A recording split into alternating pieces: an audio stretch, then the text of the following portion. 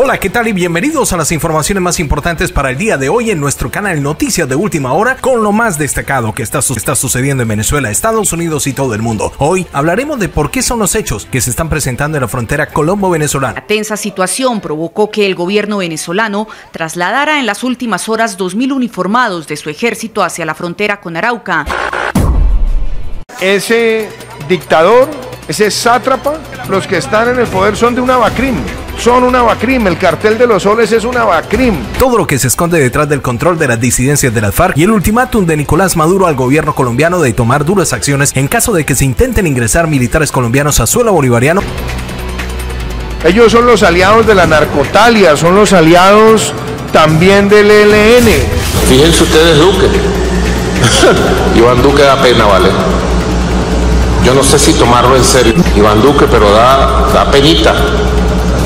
Da penita el tipo. Y la calificación que le dio el ex jefe del Comando Sur a Nicolás a través de un medio internacional. El régimen ilegítimo de Maduro, eh, que abusa a su propia gente, creo que no se ha escrito lo suficiente pero sí ha tenido un efecto desestabilizador en, en, el hemisferio. Y la grave denuncia de los procedimientos de la FAM con la población civil. He dado instrucciones particularmente a la octava división de modo que se tenga presencia de tropas allí, había 700 hombres, hoy hay 1.200 adicionales con el fin de garantizar la tranquilidad y la protección.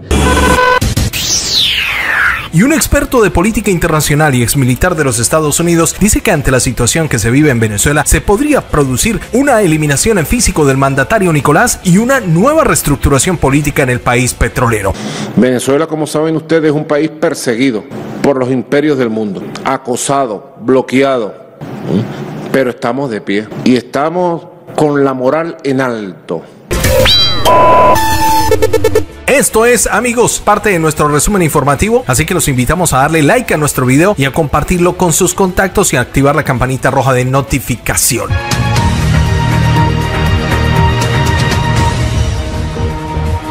Y arrancamos con la información más importante de Venezuela hoy. Mucha atención, porque se ha conocido a través de medios internacionales y colombianos que la disputa por el control de las disidencias de grupos de la FARC lleva estos enfrentamientos desde el país cafetero a tierras venezolanas. Y esto, señoras y señores, según lo que ha dejado estipulado el informe del Servicio de Inteligencia del gobierno de Iván Duque, que dejó expuesto a la luz pública todo lo que hay detrás de los hechos que se han presentado en el estado de Apure, en los cuales se vieron involucrados grupos disidentes y de la FAN. Mucha atención porque según el diario RCN tuvo acceso sobre todo lo que se habla del informe del organismo de inteligencia y la situación en la frontera. Allí se denuncia que son dos bandos los que están inmersos en esta situación de orden público en Apure y allí se destaca que uno de los grupos estaría comandado por alias Mordisco y el otro estaría bajo la dirección de Iván Márquez que estarían en conflicto por el control y allí también se habla que entraron en disputa con unidades de las fuerzas militares de Venezuela y como datos relevantes, mucha atención, amigos, toda esta situación estaría relacionada con el traslado de Mordisco a Venezuela para poder buscar un encuentro con Iván Márquez. Y tal parece que todo buscaba un grupo de las disidencias de la FARC para que centralizara las rutas del mercado, además de buscar acciones conjuntas entre los milicianos y relanzar nuevamente a las FARC en el país cafetero. Pero todo parece indicar que algo no tuvo un buen final. Y según el informe, ninguno de los dos, ni Márquez ni Mordisco, quisieron ceder en su puja por comandar las disidencias. Y hubo incluso serias palabras por parte y parte, no solamente en Colombia, sino que esto también se dio al parecer en territorio venezolano. El documento de la institución de seguridad cafetera reveló toda la información con respecto a los acontecimientos dados en Apure y allí los integrantes de la conocida Segunda Marquetalia, ayudados con los generales venezolanos en el estado de la frontera colombo-venezolana, dieron orden para realizar un operativo aéreo en la zona, especialmente en el campamento del Frente Décimo en La Victoria. El informe de inteligencia de Colombia dice que a este lugar fueron enviadas tropas, camiones y tanques para reforzar las operaciones contra narcotráfico en la frontera. Sin embargo, todo indica que esto se le salió de las manos a los militares de Venezuela y todo indica que los integrantes de los grupos ya se habían ido del sector y según las interceptaciones hechas por los grupos de inteligencia colombianos, allí en los operativos aéreos habían civiles. Señala el informe que hubo capturas de civiles relacionados con los grupos disidentes que no estaban al mando de la segunda Marquetalia, según John Marulanda de Acore, los militares han tenido que asumir las bajas debido a que el grupo de Mordisco tuvo tiempo suficiente de minar el sector previendo la persecución en tierra de las unidades del ejército bolivariano en el sector de la Victoria, evitando el despliegue de las tropas comandadas por el padrino López. Todo indica que las escaramuzas entre los grupos insurgentes van a continuar en la frontera y según el informe, se habla de una alianza en especial con el apoyo expresado por algunos integrantes del Frente 33 en el Catatumbo y del Frente 28 en el Bichada para Iván Mordisco. Estos se aliaron para ir en contra de la Segunda Marquetalia y realizar más incursiones contra objetivos del ejército venezolano. El régimen de Nicolás dijo a Colombia que tendrá una reacción contundente tras los incidentes en la frontera. De otro lado, el dictador Nicolás lanzó palabras a Iván Duque tajantes y le dijo que Venezuela usará toda su fuerza para defender la soberanía de su territorio luego de culpar al gobierno colombiano de estar presuntamente involucrado con una facción disidente de la extinta FARC y que está librando la lucha por el poder de la zona. Esto dijo Nicolás. La República Bolivariana de Venezuela garantizará de manera efectiva la paz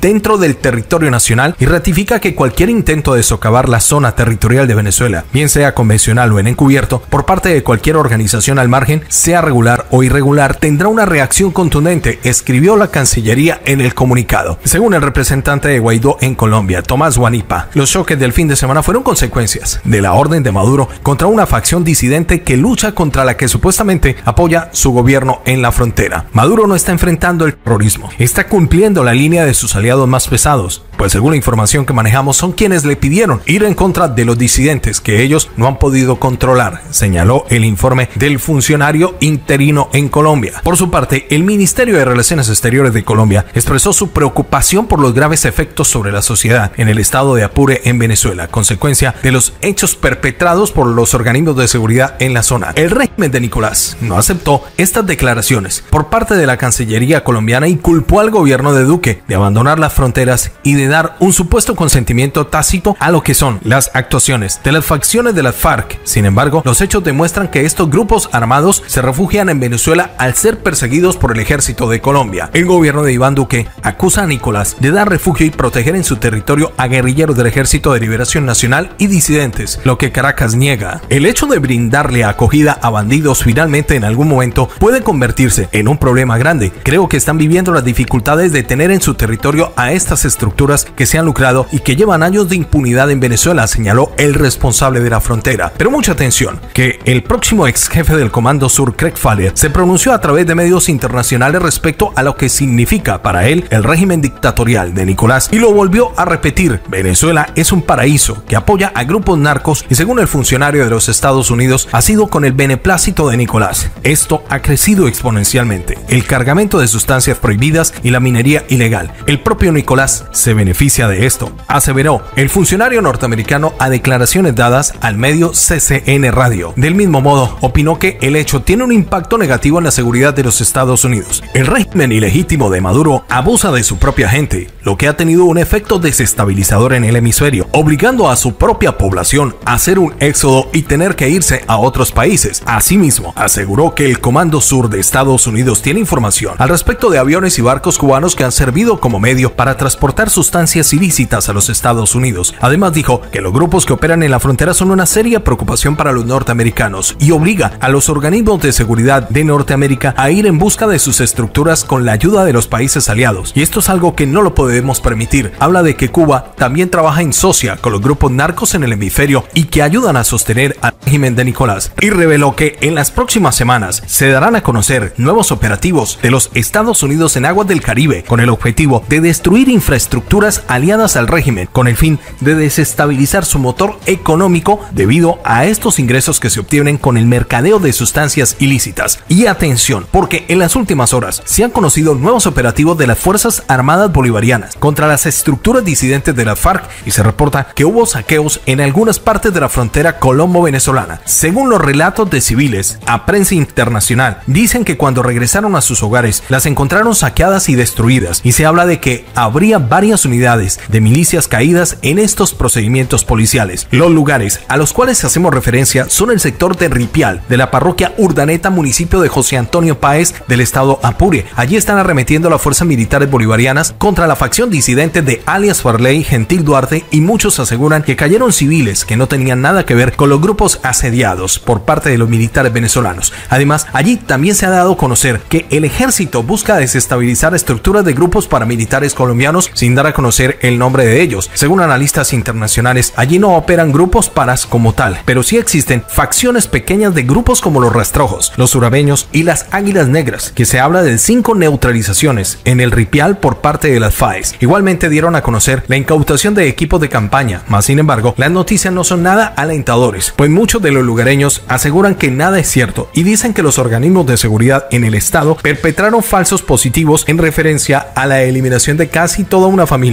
en donde cayó la suegra y dos de sus cuñados de la familia Álvarez. Y en otro reporte se habla de operativos de la FAM en contra de grupos paramilitares colombianos en el que se incautaron armas, equipos de comunicación y de campaña para cometer actos en contra del gobierno de Nicolás y de la población civil. Y tendrían conexión con lo sucedido en el estado de Apure, sector Trocha Los Mangos del municipio de Bolívar, estado de Táchira. Y ante los informes emitidos por las autoridades del país en Venezuela, se han prendido las armas y por eso el gobierno chavista activó todo el plan escudo bolivariano con el fin de repeler cualquier intento de estos grupos disidentes colombianos en contra de objetivos militares estratégicos del país petrolero y aseguran que estas acciones al margen de la ley tendrían conexión con las realizadas en el estado Apure con las disidencias que no se subordinaron a la segunda Marquetalia, por lo que ya está la orden del gobierno bolivariano de doblar las operaciones militares y operacionales en todas las unidades adscritas a la SODI en el Táchira. Pero atención a este dato. Según informaciones del gobierno colombiano, se habla que se han movido en las últimas horas cerca de 2.000 soldados en la frontera colombo-venezolana con el fin de salvaguardar la seguridad de los habitantes del sector colindante con el sitio donde sucedieron los hechos. Al parecer, el mismo grupo policial que no pudo con la banda del Coqui en la Cota 905 sería el que está respaldando a los militares en la persecución de los grupos disidentes de la FARC y en retaliación a la movilización del ejército de Colombia en el sector de Arauquita, frontera con el estado de Apure, aunque los militares aclaran que el traslado de este gran número de militares colombianos no se debe a la repercusión a los hechos en la frontera, aseguran que es más por el control de las infracciones de quienes llegan al paso fronterizo, pero también fueron enfáticos que no le temen a la incursión de elementos de la Guardia Nacional de Venezuela y que están en todo el poder de defender el territorio colombiano. Y es por eso que el gobierno de Nicolás, llamado ilegítimo por los Estados Unidos, implantó órdenes estrictas a sus cuerpos de seguridad de estar el tiempo que sea necesario en la zona de cualquier incursión de grupos al margen de la ley que quieran tomar el control de estos territorios. Y mucha atención a esta nota porque un ex militar norteamericano dice que la situación del país en Venezuela podría desencadenar la desaparición física de Nicolás y generar inestabilidad en la región. El renombrado experto en temas de seguridad y defensa en América Latina, hablamos de Evan Ellis, habla sobre los peligros y tendencias en la región que enfrenta un caos repentino en Venezuela, hasta una creciente influencia del país de Xi Jinping en la promoción del autoritarismo y el nuevo enfoque de la administración de Joe para encarar lo que significa estas influencias en la región para el gobierno de Biden, así como lo están escuchando amigos. Según el diario Primer Informe, se habla de que la crisis no solamente ha provocado un enorme panorama difícil a nivel mundial para los países, sino que está servido como plataforma para que los gobiernos totalitarios comiencen a avanzar en sus agendas de izquierda. En América Latina, especialmente en países como Venezuela, Nicaragua, asimismo como el fortalecimiento de políticas radicales en Chile, posiblemente se afiancen en Colombia, en Perú y en Ecuador, llevando consigo más inestabilidad para la región. Pero deja muy claro el experto que esto en cualquier momento puede tener un giro de 360 grados, donde la situación impulsada por el mismo régimen podría generar la desaparición física del mandatario y podría llevar a una nueva estructura política en el país, de acuerdo al experto destacado en temas militares. Y hablamos de Evan Ellis, académico del Instituto de Estudios Estratégicos de la Escuela del Ejército de Estados Unidos, US Army War College. Aunque dice el actual status quo continuará en Venezuela, todavía existe hermetismo entre quienes quieren la continuidad del régimen de Nicolás y como están aquellos que pueden percibir una oportunidad para avanzar en las cosas. Por lo tanto, asegura Ellis, existe probabilidades de que un grupo, una facción más pequeña, esté trabajando bajo el radar y pueda sacar a Nicolás y a otros líderes claves, poniendo en marcha una lucha impredecible por el poder entre las figuras restantes. Ellis es especialista de larga trayectoria en temas para América Latina y del Caribe y también temas de narcotráfico y la presencia de China en el hemisferio. Ha dado su testimonio sobre temas de seguridad en la región en varias audiencias del Congreso norteamericano y sus análisis son distribuidos con regularidad entre expertos de Norteamérica y Latinoamérica y dio este informe para el diario digital Primer Informe. El Instituto de Estudios Estratégicos, según Ellis, se enfoca en estudiar en detalle temas apremiantes en términos de seguridad y defensas para los norteamericanos. Sus análisis son usados con frecuencia no solamente en el ejército, sino que también por parte del Departamento de la Defensa norteamericano y este diario tuvo una entrevista especial con Ellis, en donde extractamos, por ejemplo, las siguientes palabras. Dice que la imprevisibilidad del cambio, el deseo de liderazgo chavista de evitar una nueva configuración política, podría llevar a su extradición por los cientos de miles de millones de dólares robados a lo largo de dos décadas del chavismo y la penetración de la inteligencia cubana y de otro tipo hace un cambio político organizado incluso desde el centro del ejército muy difícil. No obstante, todavía existe hermetismo entre quienes prefieren que siga la parálisis a pesar del continuo deterioro de las condiciones económicas, de salud y de otro tipo, y de quienes puedan percibir esta opción para poder avanzar hacia un futuro mejor o al menos asegurar beneficios para sí mismo en un cambio. Por lo tanto, existe la posibilidad, según Ellis, de que un grupo más pequeño esté trabajando bajo el radar y que puedan entregar o eliminar a Maduro y a otros líderes del chavismo, poniendo en marcha una lucha impredecible por el poder entre las figuras restantes. En tal lucha se vería una mirada de actores con diferentes intereses para proteger muchos contrapuestos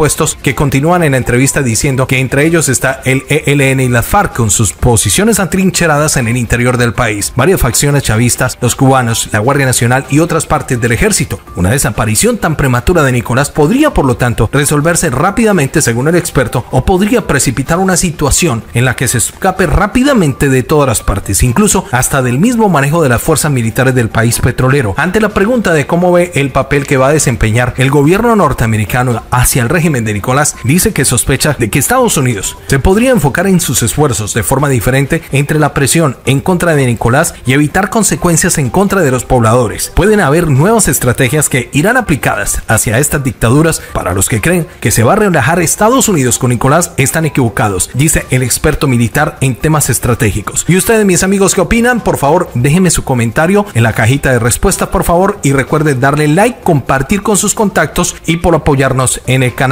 Muchísimas gracias y mil bendiciones. Nos escuchamos en el próximo contenido.